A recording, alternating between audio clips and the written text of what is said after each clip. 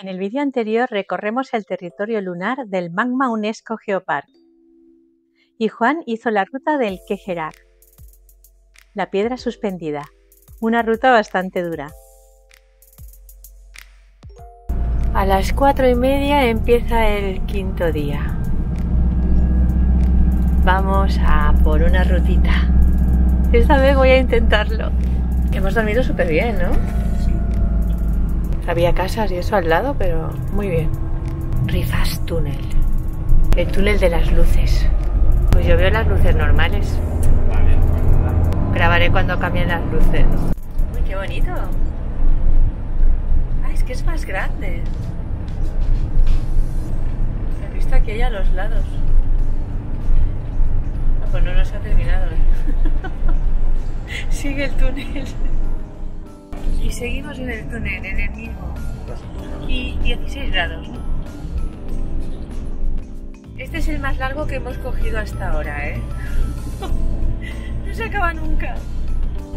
Ahí parece que se termina, ¿no? Hasta los 190. ¡Oh, por fin vemos la luz! Es 60, sí Pero nosotros hemos ido a 60 todo el tiempo. ¡Ey, qué estola! Ahí vamos. Llegando al parking. Un parking. ¿Así? ¿Pero es este?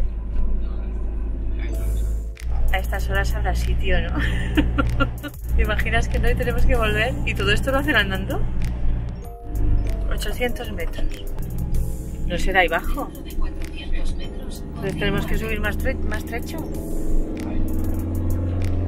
Prefiero aparcar aquí arriba y subimos. No, pero igual la ruta no va recta de aquí. Había caminillos por ahí. Ya hay quien empezar la ruta. Dos horas gratis, 40 NOC. Ah, pues hay gente, ¿eh? Ya te ha leído. ¿Consideras autocaravana? Luego. Llegamos tarde. Nos hemos levantado a las 4 y llegamos tarde. Uy, qué mal está esto. No camping. Y después de desayunar y montar toda la mochila de los dos y todo, son las seis y media y empezamos la ruta. Menos mal que nos hemos levantado a las cuatro. y esto cada vez está más lleno. ¿Ahí? ¿Por allá? ¿Qué pasa? ¿Qué es por allá, Ana? ¿Dónde vas? A ver los baños, mira. Ah, pues vale. pues vale. Vamos por aquí. Estamos grabando. 6 y 39. Los baños y la salida. Se nota que no estoy nada acostumbrada a esto. Me equivoca de, de destino. En vez de ir para arriba, es para abajo, para luego subir. ¿Qué te parece? ¿La ruta es por ahí? Bueno, me quedo quietecita y así no me equivoco. Hay un vídeo informativo. Ahora va. Parking.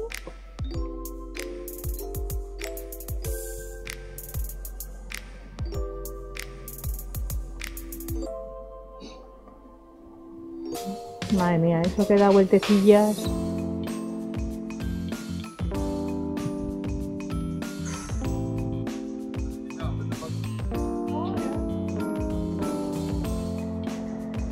Salto de emergencia pone ahí.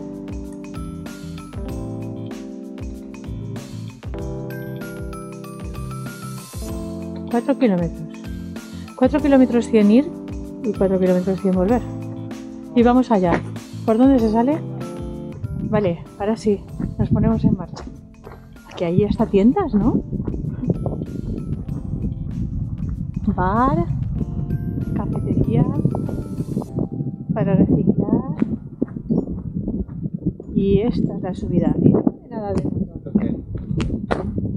Uy, entonces, ¿esto es el hotel? ¿Y dónde está la ruta? ¿Por ahí? ¿Por el caminito?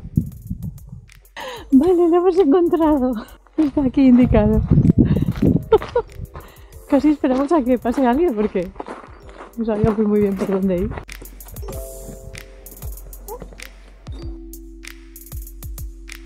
Wow, qué ¿eh? Quería enseñaros mi chaleco nuevo. Multiaventura. Con muchos bolsillos.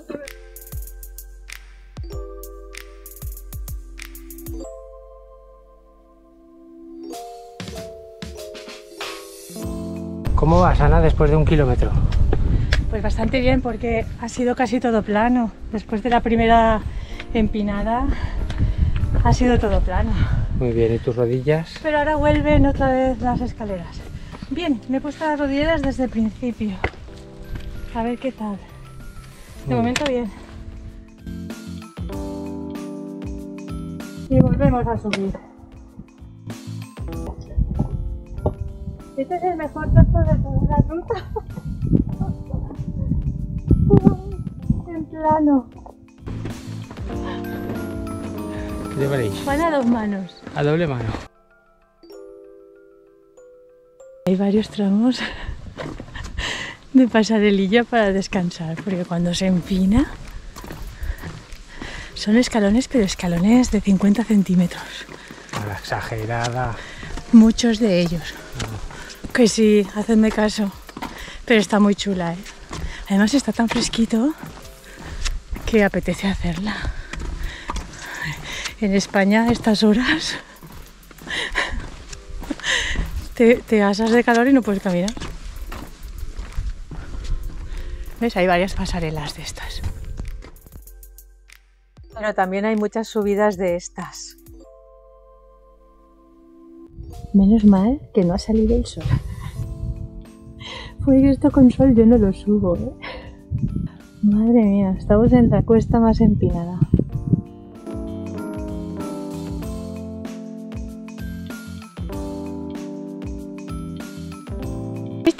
Conseguido ya ponerla que no se baje casi. Pero esta se sigue bajando. Eh, estoy siendo una campeona.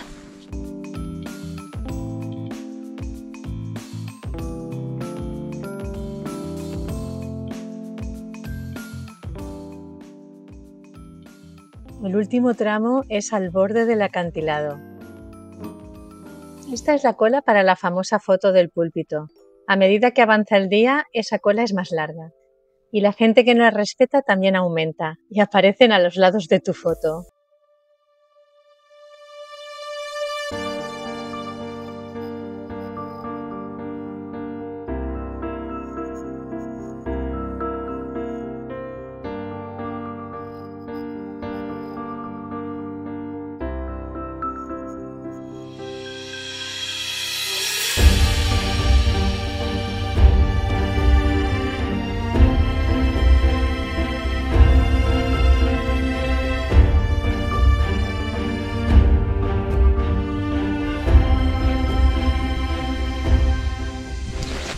Gorro me he tenido que poner, hace un frío.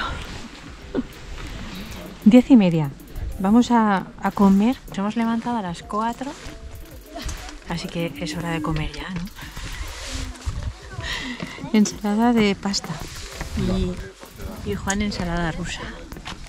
Con vistas. Ahora lamentamos no haber salido antes. Esas colas me recuerdan a los montes Tatra de Polonia. Chicos, hay que acordarse de ponerse protector solar. Que yo me he puesto crema con factor. Pero sin sol, aquí en Noruega, mira qué rojita. Y ya no es el sofoco, ¿eh? que ya se me ha pasado. Así que, acordaros de poneros crema con factor alto. Que claro, han sido tantas horas. Rojita estoy ya. Del no sol de Noruega. Juan se ha llevado la cámara a- para pagar en el parquímetro, pero se le olvidó grabar. Nos ha costado 20,80 euros, claro. Las dos primeras horas son Gratuitas. 40 no. Ah, vale. Y luego ya el pagas el día. 250 NOK. Así que nos podíamos haber quedado todo el día. Ahora vamos a buscar un sitio recto para ducharnos, que ya, que ya va bien. Ostras, esta chica. Acaba de pasar una chica con bici con un mochilón impresionante. También hay un camping. Esto es lo último que hay. Está este camping y luego ya no hay nada. Me podéis dejar aquí y subiros en bici. No sé si hay algún sitio más, pero es que son 4 kilómetros 100 de subida y 4 kilómetros 100 de bajada y ya es bastante ruta. ¿eh? Aquí abajo en el pueblo hay un área de autocaravanas. Es de pago, ¿eh? El área de autocaravanas. El camping está mucho más cerca de la subida. Se llama Mobile Park, que es como un área de autocaravanas que hay pues servicios de, de vaciado y llenado, hay electricidad en algunos sitios. Bueno, tenéis esto también, si queréis subir en bici, pero es para subir hasta es todo así, ¿eh? Todo cuesta. Vale la pena dejarlo en el parking de arriba.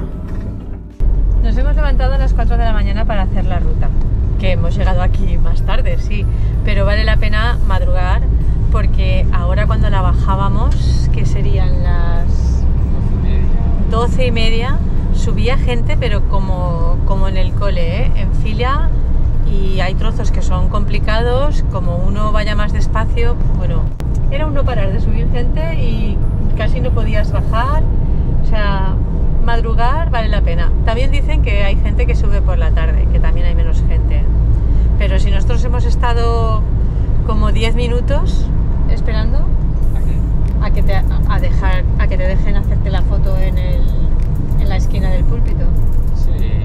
No llegará a 10 minutos. Hemos hecho tres veces la cola, porque porque primero ha ido Juan y yo le he hecho desde un lado, luego he ido yo y Juan me ha hecho desde un lado y luego hemos ido los dos con la Insta para ver si sale algo. Así que hemos hecho tres veces la cola y era llevadero, no sé, igual no, ni 10 minutos que va, 5 o 6.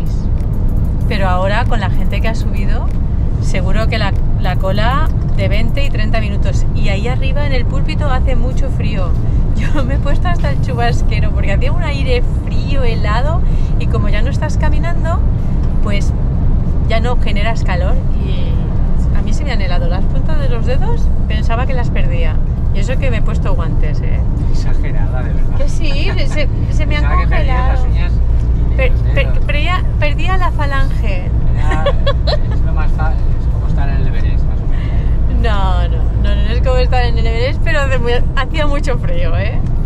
Lo que pasa es que vas sudado y, y- y el frío te parece otra cosa porque la humedad que llevas en el cuerpo.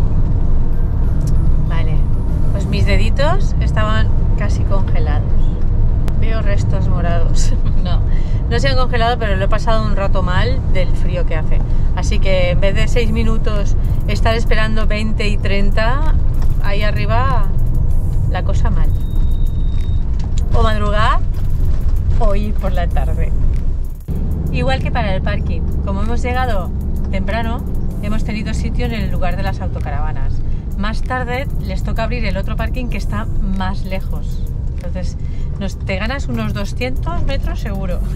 No, y la, y la bajada para el otro es peor. Así que yo aconsejaría madrugar. Carretera, o sea, tienes que coger el ferry. Pero bueno, es un ferry de esos que, que dura 15 minutos. Un sitio recto para ducharnos y mira las vistas. Ducha, comida rápida y nos vamos a ver Stavanger.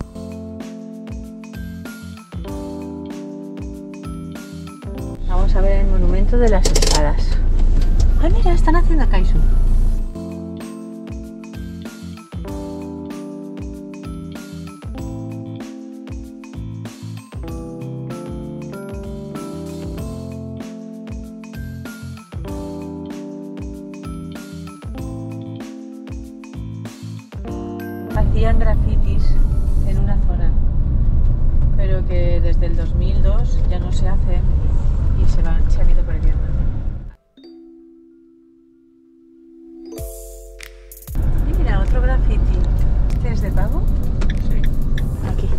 Mar.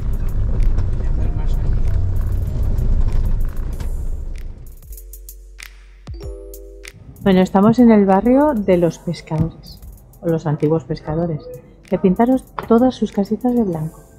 Y vamos a entrar porque dicen que es muy bonito. Este parking es de pago.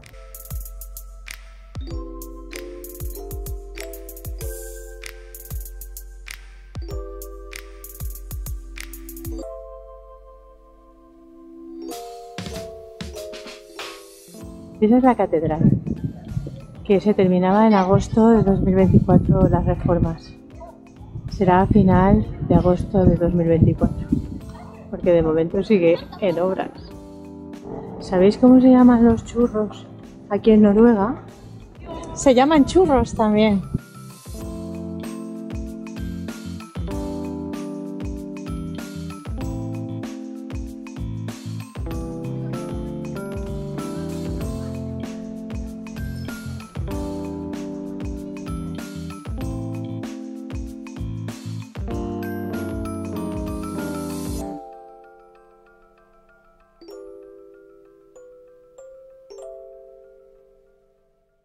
Y estas son las casitas de los pescadores que las han pintado de colores. Antiguamente, ahora serán tiendas seguramente. Sí. Has encontrado otro graffiti. Ahora que asoma el sol nos vamos. Mira, ha cambiado todo, ¿eh? Vamos a cambiar las aguas y está justo aquí al lado del campo de fútbol.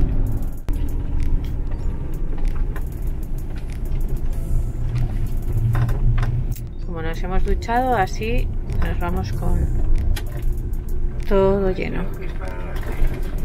Siempre pone agua no tratada. No, digo para las. ¿No hay? Pues igual nos llevamos el poti la- para la próxima. Que sí que tiene vaciado de negras. Pero es en el mismo sitio que las grises. Esta es para las negras. Vamos a irnos con todo limpio. Acabamos de cambiar las aguas y hemos ido al Remamil. Hemos comprado dos garrafas de agua de 5 litros a 3,18 euros cada garrafa. 5,8 kilómetros de túnel. Vamos a pasar por el agua. Pasamos a una isla. Ahora el túnel se mete dentro del agua. No lo vamos a ver, el agua, pero bueno, esperemos no verla. 200 metros bajo el agua. Bueno, sí. Ahora salimos otra vez a tierra. que ya no sé si Y luego hay otro trozo en agua, que no sabes si es un puente o un túnel, ¿no? Sí. 4,4 kilómetros. Túnel de peaje. Mira cómo vamos para abajo. Sí, sí, ponía que era del 8%. la pendiente. O sea que bajamos por debajo del agua.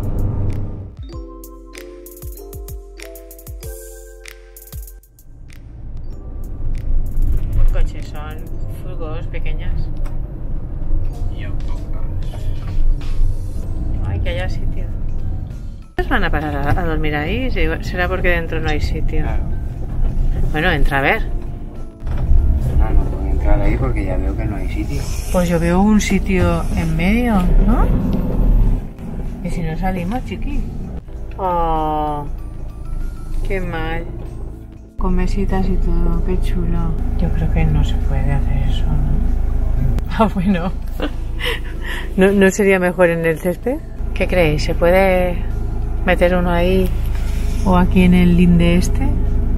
Al final le hemos metido. Tomarte con las mesitas que allí detrás hay otro. El sitio es chulísimo, pero hace un frío. Dice que 20 grados, pero 20 grados de, de los de aire acondicionado. Debajo de todas esas espinacas hay una hamburguesa vegetal. ¿Ves? Las espinacas se quedan en nada. Y ahora sí que se ve la hamburguesa. Y esta es la de Juan.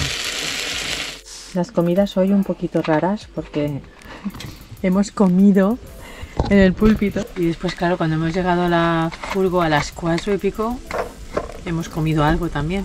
Madre mía, estos chicos con la tienda de techo, no sé yo, ¿eh? Con ese aire, ¿puedes dormir dentro de una tienda? Sí, hay un mosquito por igual. ¿Mosquitos? Bueno, un insecto volador. Nos hemos zampado a las cuatro y pico media tortilla de patatas cada uno. Y ahora otra vez a comer. Pero es que hoy, hoy me lo he ganado, ¿eh? Sí, sí. Te has ganado, vamos. Y mirad lo que había en el Rema 1000. Me he dejado mi taza en casa, así que me he comprado una. Tengo una igual, pero en amarillo. Esta gris para la camper.